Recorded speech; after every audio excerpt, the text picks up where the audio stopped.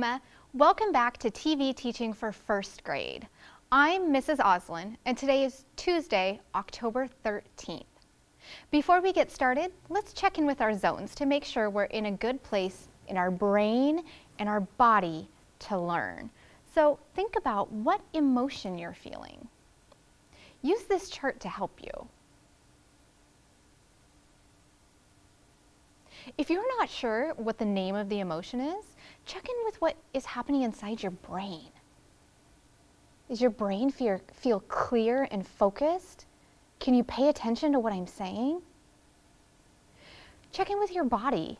Is your body calm and relaxed, but also alert and awake? That's the green zone.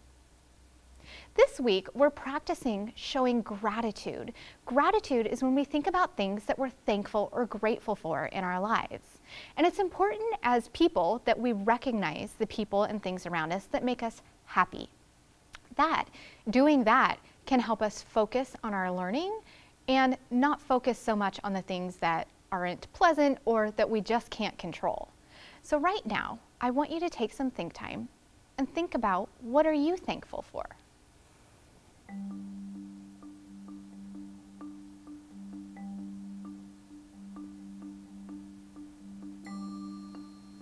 And I'm going to model expressing or showing or saying my gratitude to my learning buddy, Rashid, using the sentence frame, I'm grateful for hmm because hmm.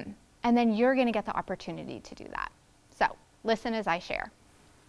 Rashid, I'm grateful, grateful for my co-teacher, Mrs. Walle, because she remembered to set the timer for me for this lesson so I don't teach for too long. Now, first graders, it's your turn. Share with your learning buddy who or what are you thankful or grateful for.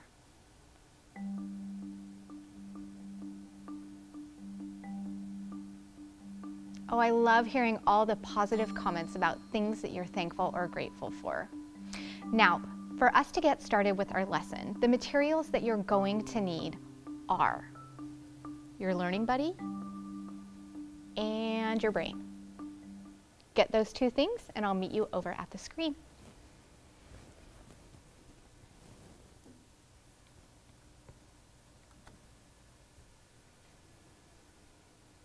You'll remember that every day when we gather together, we're going to be doing some reading and some thinking and some writing.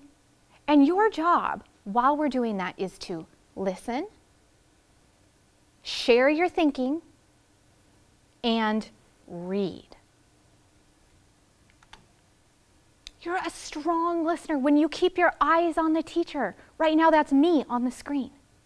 You're going to listen to the books, and today we have a really exciting book about one of my favorite topics that I think or hope you're going to enjoy. And I want you thinking about the words and the pictures, and also thinking about what our learning intention is. What is it specifically that I want you thinking about? Today, we are going to learn ways to remember the strategies that you use to participate in conversations about books with members of your reading community. That's a lot of words. What it means is you're going to be thinking about ways that you can talk to people about books and the people are members of your reading community. So it could be whoever is in the room with you right now. It could be if you get the opportunity to talk to your teacher he or she is a member of your reading community. Your class at your school is your reading community. And you could also practice talking to me on the TV because I'm also a member of your reading community. You'll remember we talked last week about active listening. And active listening can look and sound different depending on where you are and who you're with. When we're at school, Active listening looks like you have listening posture. You're looking at the speaker, you're quiet while someone else is sharing, and you're still with your hands in your lap.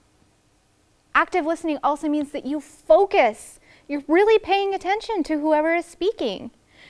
If you're focused and you're showing active listening, you should be able to say it back, which means if I share with you what I'm thinking, you should be able to respond with, so I hear you say, hmm, and repeat it back. For example, if you were showing active listening while I was sharing my gratitude, you should be able to say, Mrs. Ozolin, I heard you share gratitude for Mrs. Walle for setting the timer for you. That's saying it back. Also, you should be able to ask questions. We learned last week from the book Listen Buddy that, that Buddy was able to ask questions about the directions he was giving, getting, but he wasn't actually listening or focused on what the answers were, and so he got himself into all sorts of trouble. Now, it's important for you to recognize that active listening can look different when you're at home. It's important for you to have those conversations with your family about, as a community, what do you do to listen and show respect to each other? Because it might be different than what we do at school. I know at my house, it's not always the same at the dinner table as it is when my kids are at school. When we're having a conversation at the dinner table, I don't expect my kids to raise their hand when they want to share. They can just go ahead and speak. And that's different than what it is at their learning community at school. Okay, I'm excited to share this book with you. This is an informational or nonfiction text. It's a book that we're going to learn from. And guess what we're going to learn about? Ice cream. This is the sign for ice cream. So go ahead and do that with me. Ice cream. Kevin likes ice cream. We got his attention. So he's going to show really good active listening because this is a text, a book about something he's interested in. This book is by Gail Gibbons, and she's going to teach us all about the history of ice cream. Now, while we're reading, make sure you're showing active listening and make sure that you're doing some thinking about what you're learning in this book so that you can talk to someone, have a conversation with someone about what you learned and what you think about ice cream.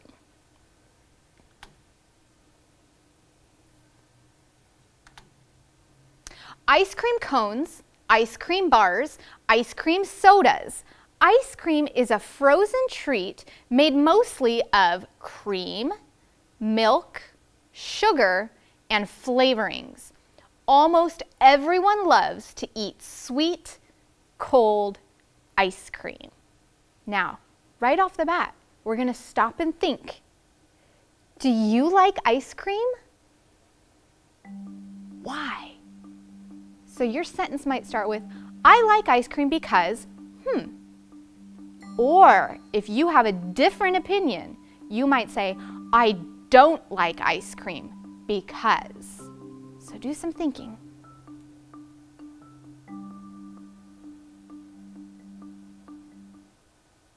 Now I'm going to model sharing with my learning buddy my opinion of ice cream. And I want you to think, do you agree with me or disagree with me?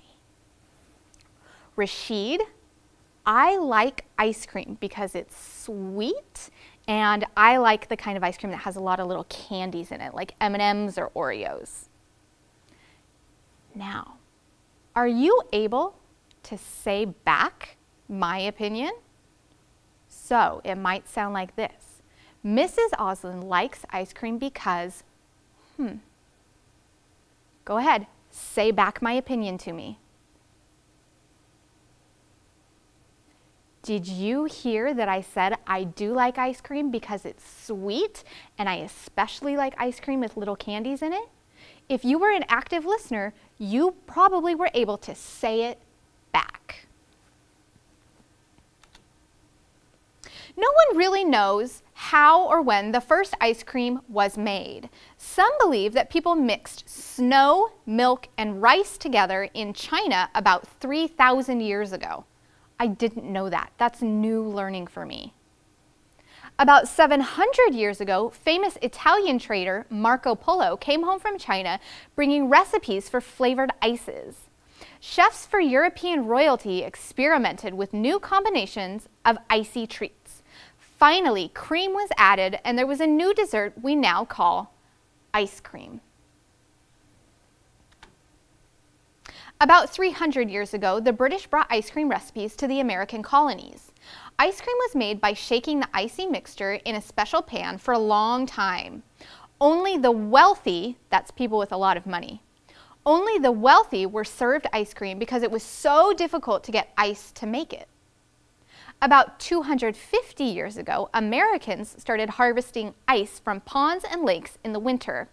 It was stored in ice houses and also shipped to the south. Now people could make ice cream year round. It was served only at special events.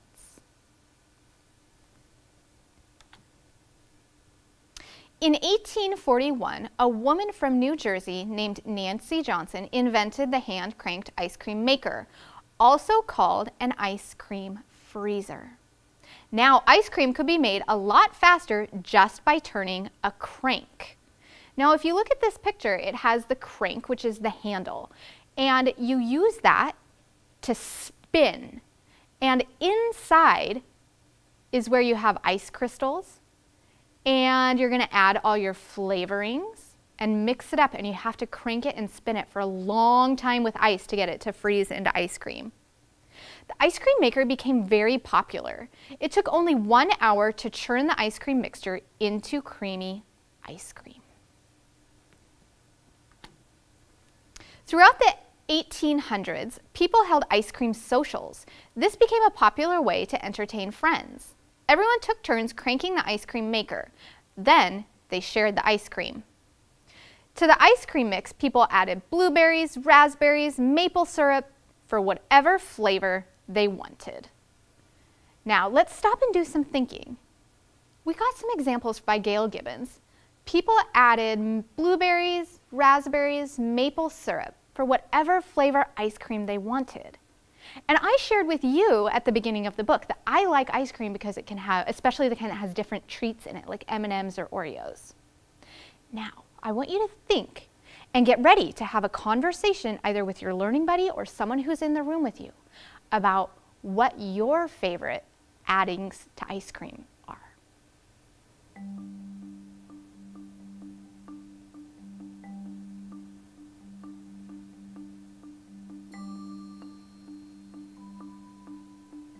Now, I'm in a motto with my learning buddy, Rashid.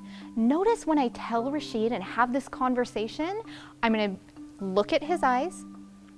I'm going to use a complete sentence, which means I'm going to say, I like hmm because hmm. That's part of having a conversation. Then I'm going to stop and listen to Rashid. And then I'm going to be able to either say back what Rashid said or ask a question if I'm not sure. So watch and listen. Rashid, I like M&Ms and Oreos in mint ice cream because I really like the sweetness of the candy with the minty flavor of the mint ice cream. Notice when I shared, I used a voice that was clear and it was loud enough that people could hear, but not so loud that if there's other people around me having conversations that it's going to interrupt them. Now watch as I listen to Rashid and either say it back or ask a question.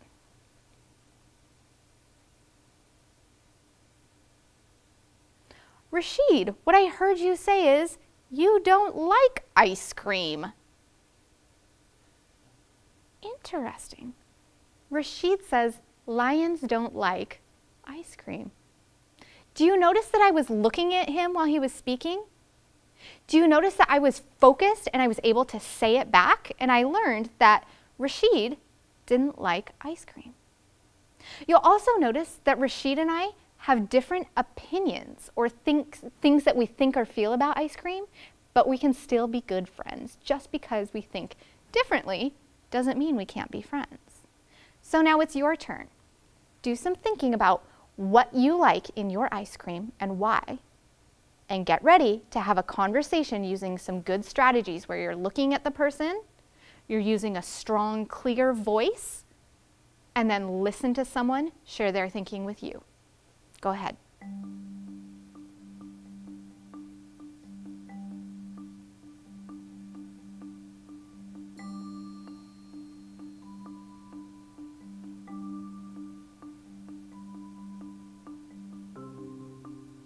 Now, do some self-assessment. Were you able to say it back? Or ask a clarifying question? If you were, that means you were showing focused, active listening. Now let's keep reading about ice cream. See what else Gail Gibbons is going to teach us. Cows. It all still begins at the dairy farm. The cows are milked twice a day. Some cows, such as Jersey cows, give creamier milk than others. The milk is piped into a cooling tank. The milk is kept cool so it won't spoil. A truck comes to the dairy farm. The milk is pumped into the tank of the truck where it is still kept cool. The milk is delivered to the ice cream factory. Other trucks are there too. Some hold liquid sugar. Other trucks deliver many products that make up the different flavors of ice cream. At the factory, the milk is put into a separator. This is where the cream and milk are separated from each other. Cream, milk, and liquid sugar are put into a large vat. The stabilizers and emulsifiers are added. All these ingredients are mixed together. Now, as I was reading, I heard some really big words, and I'm not sure what they mean. Luckily, Gail Gibbons gave us some definitions of some of these words. Uh, the first big word was stabilizers, and I'm going to highlight that word so you can see.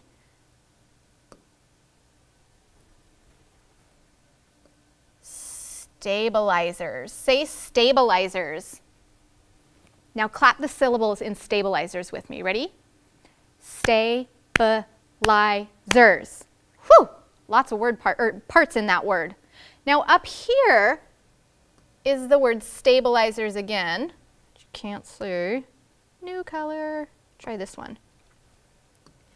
It says stabilizers will keep ice cream from forming icy, lumpy crystals that would make the texture of the ice cream grainy. They also help keep the ice cream from melting too fast. The other word we read was emulsifiers. Emulsifiers will keep the ice cream texture smooth. So Gail Gibbons is giving us a lot of information about how ice cream is made and especially how it's made to stay creamy.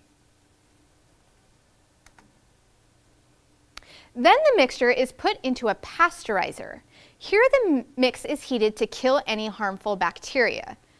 This is called pasteurization. Say pasteurization. They pasteurize the milk, which means they heat it up to kill any bacteria.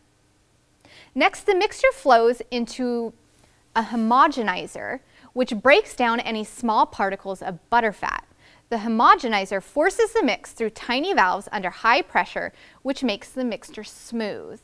Now I'm doing some thinking as a reader and I'm noticing that there's a lot of work that goes into ice cream just to keep it smooth. Now it's time for the mix to be cooled. It is moved to a cooler and stays there for a few hours. The temperature inside the cooler is about 40 degrees Fahrenheit, which makes the mixture firmer. Then the thick mixture is pumped into a freezer. Inside the freezer, blades spin, ar spin around, forcing air into the ice cream mix, making it softer and smoother. The mixture expands as the air is pumped into it. Now the ice cream goes to different vats for flavoring. Ooh, this is the part I'm excited about. There is vanilla, chocolate, mint, and many other flavors. Often fruits, nuts, raisins, or other foods are added to make different flavors and kinds of ice creams. Now we have ice cream that is very similar to the ice cream made in the first ice cream makers. The different flavored ice creams are sent to their packaging areas. Then containers move along an assembly line. When each container stops, a dispenser fills it up and packs it down with soft, tasty ice cream. The packaged ice cream is moved to a freezer room. Inside the room, it is very cold, about 20 degrees, negative 20 degrees Fahrenheit. The ice cream becomes hard and firm. It is time for the ice cream to be shipped to stores or other places where it will be sold to customers. Ice cream is moved into refrigerated trucks that are very cold inside. People buy ice cream at so many different places. Some people order ice cream in restaurants and buy it at ice cream stands. There are ice cream trucks and carts too. Most people buy ice cream at their grocery store. Ice cream can be sold at many, in many different containers. It is available without sugar too. Wow, we just did a lot of reading and thinking about ice cream. Take a minute. What are you thinking right now about ice cream?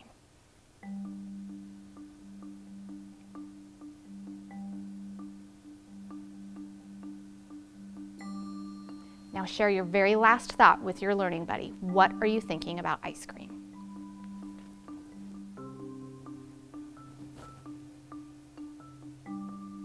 Friends, we practice lots of strategies that we know that we can that can help us have conversations, which means talk to people about what we're reading. We practiced active listening, staying focused, we practiced say it back, we practiced asking questions, and we practiced what to do when we disagree with someone. Now, your job as you go off to independent read is build your reading stamina, think about what you're reading, and have a conversation with someone around you about what you read today. First graders, thank you so much for reading with me today. This is your five minute break. Make sure you take the chance to go to the bathroom, get your drink of water, and get your wiggles out, because Mrs. Walle will be right back with some math. Thanks. Bye.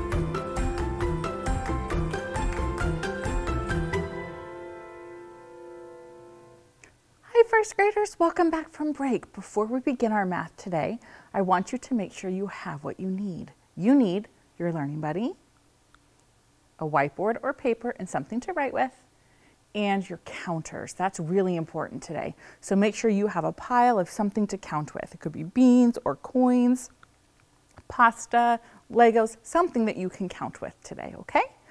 Great. Make sure to grab those and then come on back and we're going to have a true or false Tuesday. So true means, yep, I agree, it's right, or false means, nope, that's not true. That's not how that works. So what I want you to do is I want you to look at the equation on the board. 7 is the same as 3 plus 4. Do you think that yes, that's true, or nope, that's false? Hmm. Well, what is 4 and 3 more? Rashid, it's 7, isn't it? So this is true. You ready for the next one? I want you to study it and tell me, is it true or is it false and why? Hmm. 2 is the same as or equal to 2 plus 1. 2 plus 1 is the same as 2? Hmm. Is that true or false, first graders? Oh, I can hear you from here. You're all saying false, Mrs. Walle. Why is it false? If you hold up two and one more, you get three. So is two the same as two and one more, or are they different? They're different. Mm -mm, false. You ready for the next one? True or false? Five and three more is the same as eight. Five plus three equals eight. Is that true or is that false? You could even give a little sound, ding, ding, ding, or meh, meh. Which one do you think? true or false? Pebble, what do you think? You think it's true? Why do you think it's true? Because five, six, seven, eight is the same as eight. Ding! Oh, Mr. Kevin says ding, ding, ding in the back. Yeah, it's eight. It's true. Excellent work, first graders. Now we're going to practice some counting on. We have some equations, and they have dots underneath to help us. But instead of counting all the dots, we're going to find the greater number and circle it. So which number is more, two or three? And we're going to say three, and then we're going to say four, five. You practice that with me. Three, four, five. 2 plus 3 is the same as 5. Excellent. Let's do the next one. Which number is greater, 4 or 3? Which one's greater, 4 or 3? 4. 4, 5, 6, 7. What was that, Rashid? Rashid said, Mrs. Walle, I see something else. Rashid said, Three and three is six, and one more is seven. Rashid used a double. Way to go, Rashid. High five. All right, let's look at the last one. Which is the greater number, five or three? Five, it has more dots. Say five, five, six, seven, eight. Five plus three is eight. Excellent work, first graders. All right, let's move on. Hmm, how can adding help you subtract? Let's go over to the whiteboard so we can do some work with our counters to figure out how adding can help us subtract. Are you ready? Hmm, private think time. How do you think adding can help you subtract? Look, I brought Pebble today. He's here to help us. Huh. The equation is 5 minus 4 equals blank, but then they put the, nu the number bond, 5,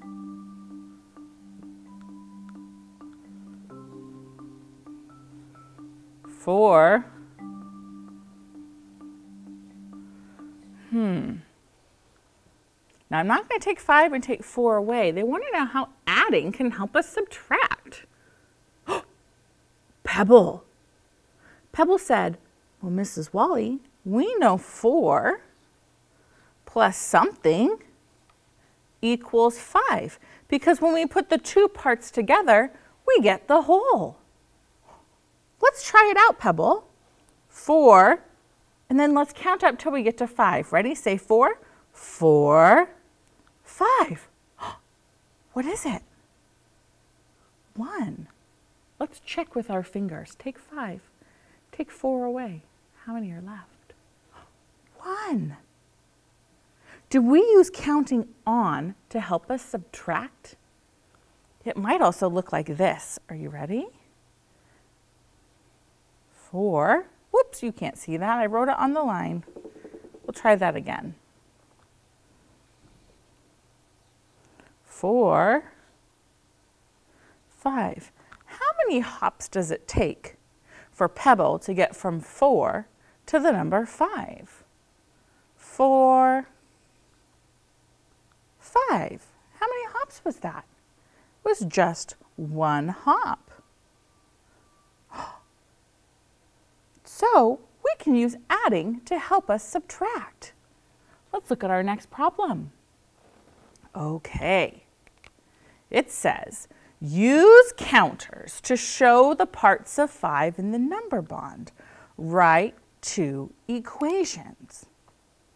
Well, take a look at the equations down below. Can you make a square number bond for me on your board? Excellent. And then we're going to look at these equations. It says blank plus blank equals 5. And then it says 5 minus blank equals blank. So before we can do anything, we need to figure out where the 5 is going to go. So I have to think about addition equations. A part plus a part equals a whole. When I subtract, I have the whole minus a part equals a part. So what is 5? Is 5 one of our parts or is it the whole? Private think time. Part plus a part equals the whole. So what is 5? Tell me, what do you think? It is the whole. Where is the whole in our number bond? Part and a part put together is the whole. So where are we going to put 5? Yes, right here at the top. 5. Okay. So let's get the whole. How many counters do we need to put out? Pebble, 5. Okay, here we go. One, two, three, four, five. Okay. What could one of our parts be? Hmm. How about I put a line right here? Okay, so what are our parts? What's this part? Two.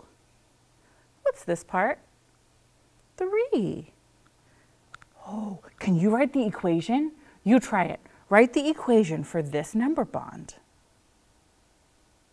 Okay, 2, the addend or the part, plus 3, the other addend or the part, is the same as 5 the whole. Do you agree that if you have 2 and 3 and you put them together, you get 5? Okay, now I have 5. I'm going to take away this part. How many did I take away? I have five. I took away two. What do I have left? Three. Ta-da! You did it. Now go ahead, erase the inside of your boxes. Erase these parts, but leave your equations and erase your line. Now I'm going to put a new line. Are you ready? Now what's our first part? Our first part is, yes, first graders, our first part is 4. Our second part is 1. What is our whole? 4 and 1 make 5. So what's gonna what's our first addend or part? 4. What's our second addend or part? 1. Is 4 and 1 more 5? 4 and 1 more 5? It is. What if I have 5 and I take away 4? What do I have left? 5. I took away the 4. What do I have left? 1. Kiss your brains, first graders. Let's reset our work area and then let's see what our next problem is. Okay, Pebble, are you ready? Great, I'm ready too.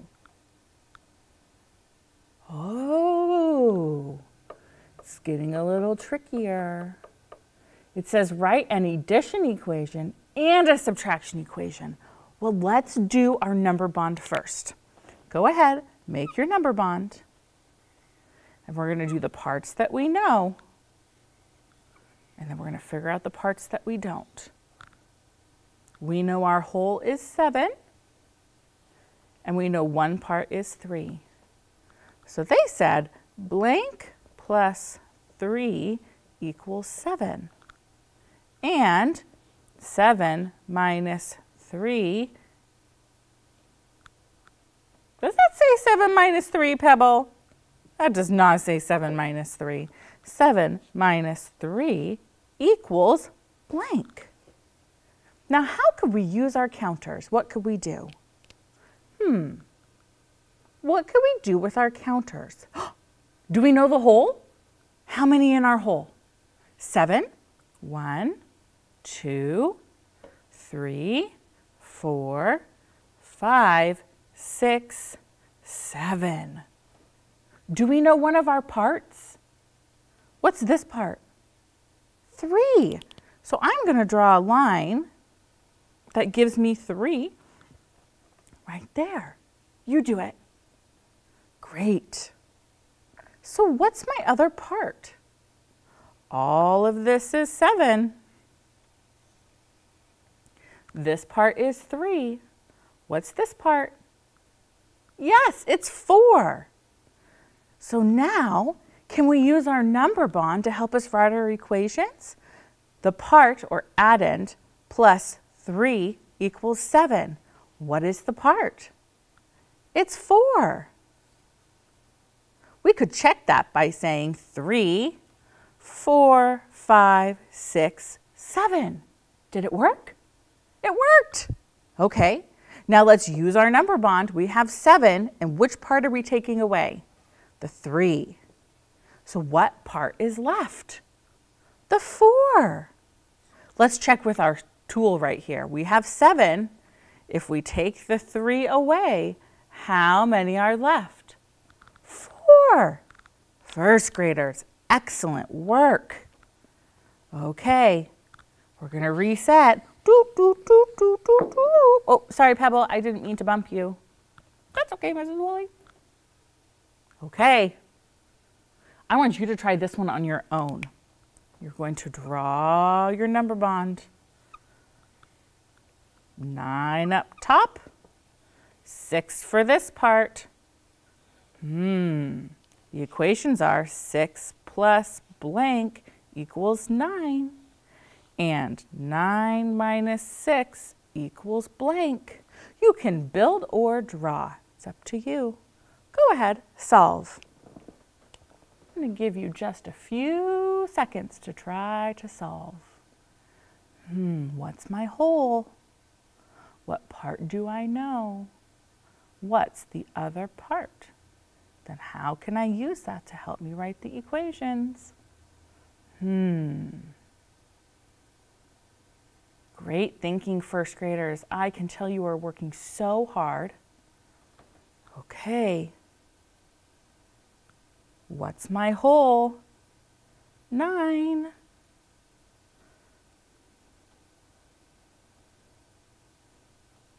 Okay, what part do we know? Six. Better draw my line. There's one part. There's my other part. What's the part I don't know? Three, six, seven, eight, nine. So six plus this part plus the other part, what part is it? Three equals nine. And if I have nine and I take away the six, what is the other part? Three. Let's check here. I have nine. If I take away the six, I have three. First graders. Wow, look at these strong mathematicians we have. All right, I want you to do this one all on your own. I'm not even going to draw it. Ready? Go. You do it. Then I will tell you the answer when you're done. You have about 20 seconds. Can you figure it out? What's the missing part? Write the addition and subtraction equation.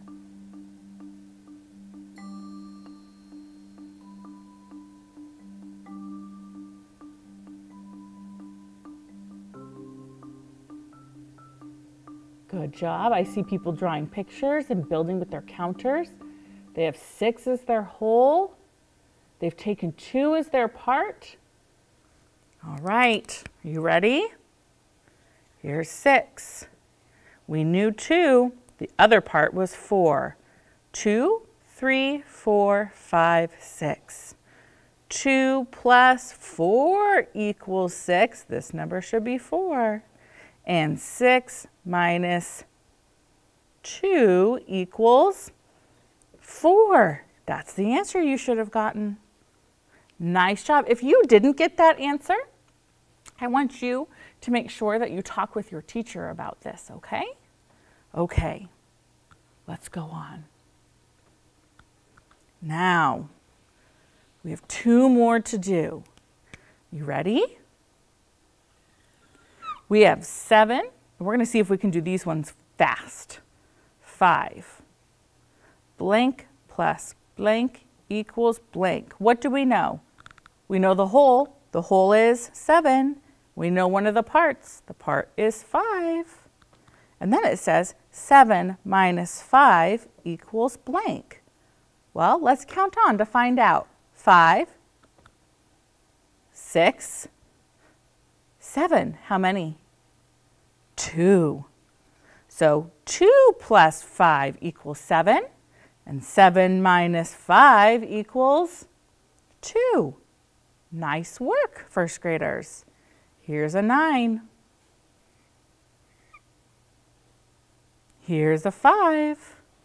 5, 6, 7, 8, 9. How many counters did it take to get to 9? 4. Excellent job. So, what's my first part? Four. What's my second part? Five. What's my whole? Nine. Kiss those brains. Now, I have nine, and I'm going to take away five. Here we go. I'm going to cross it off. What do I have left? Four. First graders, meet me at the smart board so you can see your assignment for today.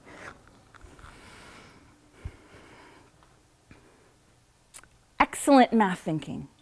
Fantastic job today. I love those ones that you're trying to find the missing part. They're like a really fun puzzle. I like to do them for fun. So your assignment is to do page 83 and 84 in your math workbook. If there are any problems that you don't know how to do on these pages, you need to circle them and when you talk with your teacher this week, you need to ask them for help. Okay? Awesome. Meet me up at the camera for our affirmation. All right, first graders. We've been spending a lot of time at home, and sometimes when we're around the same people all the time, little problems feel like big problems. but you have learned so many strategies for being a strong problem solver. You've learned using I-messages. You've learned stating how you feel. You've learned from Chili the penguin how to calm down. Amazing. So your affirmation today is, I am a strong problem solver. So I'm going to go first. Are you ready? I am a strong problem solver. Your turn. Excellent job, first graders. We will see you tomorrow. Bye. Hey kids, we want to see your work. Just send your pictures and your stories to TV Classroom, 601 South 8th Street, Tacoma, Washington 98405.